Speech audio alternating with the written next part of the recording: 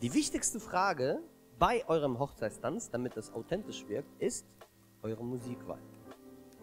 Die Musik sollte die gewählt werden, die ihr selbst lebt, die vielleicht auf irgendeine Weise eure Beziehung widerspiegelt, zu der ihr selbst auf jeden Fall Gänsehaut bekommt.